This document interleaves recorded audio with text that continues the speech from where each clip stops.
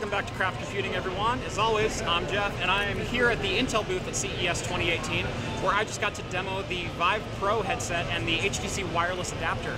Uh, actually, I didn't get to demo the wireless adapter, but I did get to try on the Vive Pro headset.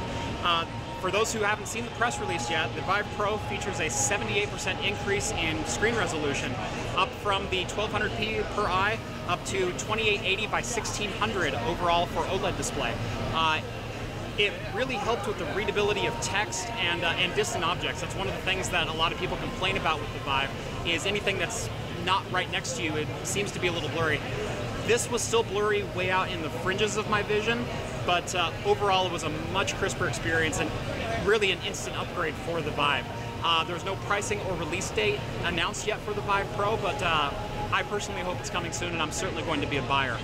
Uh, the wireless uh, adapter for the Vive is backwards compatible with the original Vive as well as the new Vive Pro. Uh, the only cable you have is a cable going down to a waist pack for the battery. Everything else is wireless. Um, there's been no information on battery life as of yet. We do know the Vive wireless adapter is using Intel WiGig technology, which is a 60 gigahertz wireless video transmission that promises near zero latency to the Vive headset.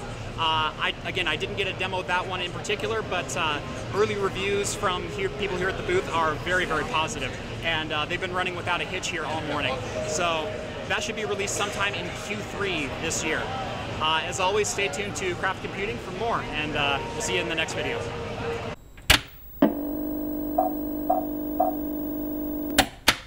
Uh, it promises